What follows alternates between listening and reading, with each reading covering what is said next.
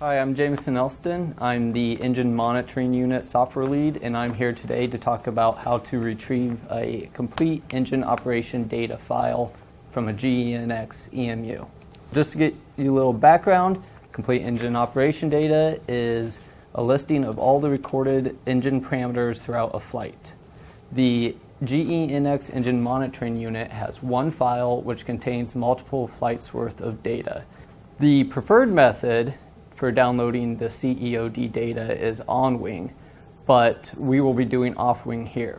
On wing is preferred because it takes only three hours, while off wing can take up to 22 hours. For this procedure, there are five pieces of equipment you're going to need. One is the power source, and the power source needs to be able to provide 115 volts at 400 hertz. Then you're going to need the uh, cable to connect from the power source to the engine monitoring unit. Then you have your engine monitoring unit from which you're going to retrieve the complete engine operation data. You're going to have your data retrieval cable which connects from the EMU to the PMAT.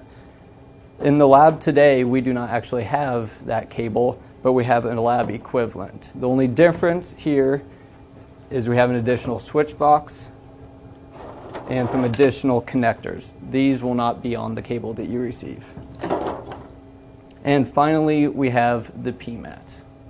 The first thing to do is make sure that the EMU DLFF data config file is loaded on the PMAT. This file can be obtained either from the engine monitoring unit software load disk or from the product support engineer who requested this data retrieval. The location of the config file on the PMAT should be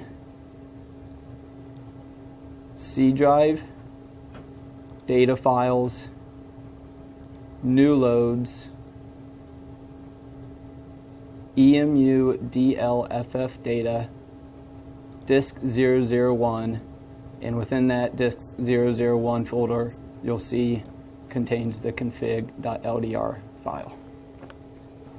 All right, once you confirm that the config LDR file is in the correct directory location, you'll need to go to Lodestar, select the Library tab on the right, and then select the Install Software. Here you'll select New Load Directory, and then in the new loads you need to scroll down until you find EMU DLFF data.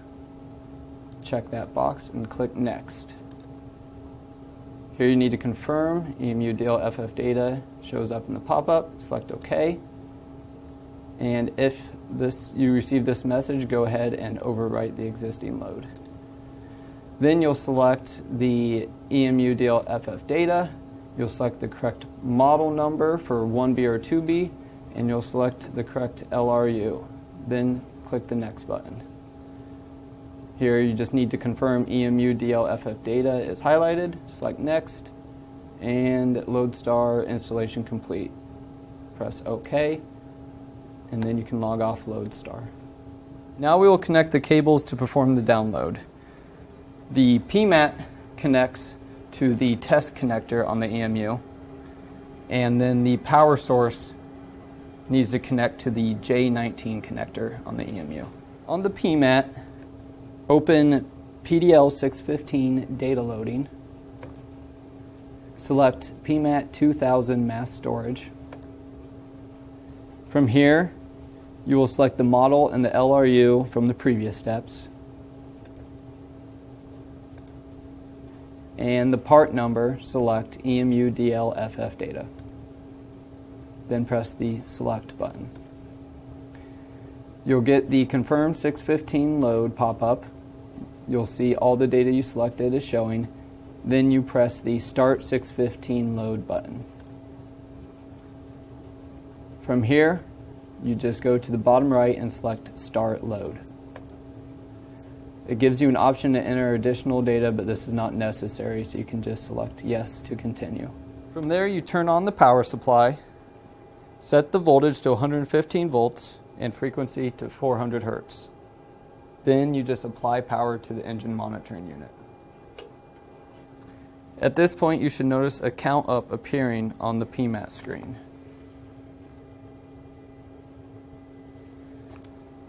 This indicates that the data retrieval process has begun. The data retrieval will take up to 22 hours, so we're going to go ahead and just interrupt it now. Once the retrieval is complete, you'll see a load complete message appear where you're currently seeing the counter.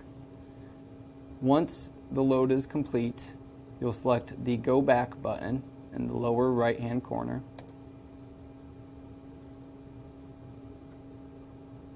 Then, to retrieve the data, you need to go to memory location C drive, data files, downloads, PDL 615. Within PDL 615, there will be a folder named EMU DL FF data with the date and timestamp.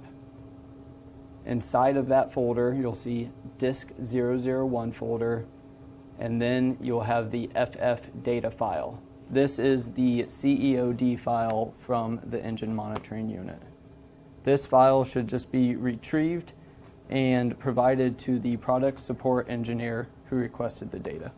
And that is all that is required for downloading CEOD data from a GE NX engine monitoring unit. CEOD is very important for monitoring the health of an engine and for furthering investigation into field events. Thank you very much for watching.